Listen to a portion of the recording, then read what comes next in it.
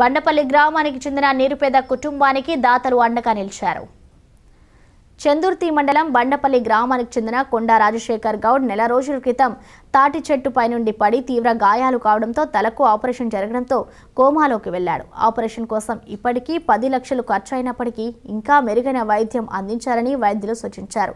రాజశేఖర్ కుటుంబ సభ్యులు స్నేహితులు నాకలం అక్షర సత్యం అనే స్వచ్ఛంద సంస్థను సంప్రదించగా మిత్రా ఫౌండేషన్ సింగపూర్ వారు రూపాయలు పదమూడు వేల ఐదు వందలు రుద్రంగి మండల కేంద్రానికి చెందిన ఎస్ఆర్ఐ బొల్లి కుమార్ రూపాయలు ఐదు వేల నాకలం అక్షర సత్యం సభ్యులకు అకౌంట్లో పంపగా ఇట్టి డబ్బులను గురువారం నాకలం అక్షర సత్యం సభ్యులు గడ్డం శేఖర్ లింగంపల్లి గంగాధర్లు రాజశేఖర్ భార్య మాధవికి స్థానిక గౌడ సంఘం సభ్యులతో కలిసి అందజేశారు.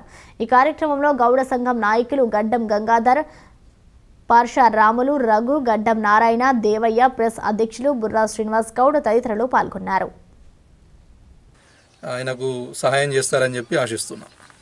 చందుర్తి మండలం బండాపల్లి గ్రామానికి చెందినటువంటి నిరుపేద గీతా కార్మికుడు కొండ రాజశేఖర్ గౌడు వృత్తిలో భాగంగా గత నెల రోజుల క్రితం తాటి చెట్టు ఎక్కే క్రమంలో కింద పడడంతో తలకు బలమైనటువంటి తీవ్ర గాయాలైనటువంటి నేపథ్యంలో ఇప్పటికొలు కూడా సహకరించి ఆర్థిక సాయాన్ని అందజేయాలని కోరుతున్నాం. ముఖ్యంగా నాకలం అక్షర సత్యం ఫేస్బుక్ బృందానికి మరొకసారి కొండ రాజశేఖర్ గౌడ్ కుటుంబం తరఫున అలాగే మా ఎనగల్ గౌడ సంఘం బండపల్లి గౌడ సంఘం ద్వారా కృతజ్ఞత తెలియజేస్తున్నాం.